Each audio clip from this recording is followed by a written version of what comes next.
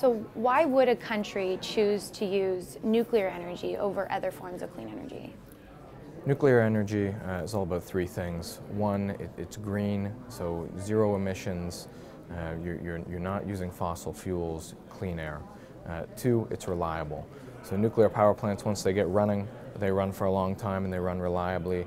These are the power plants that are powering the street lights, the hospitals 24 hours a day, and it's low cost.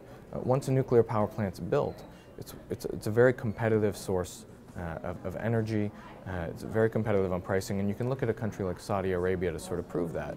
Because here's a country that has strong security of supply when it comes to oil, low cost when it comes to oil, and yet Saudi Arabia is building nuclear power plants. They see the merit to having it be part of their energy mix.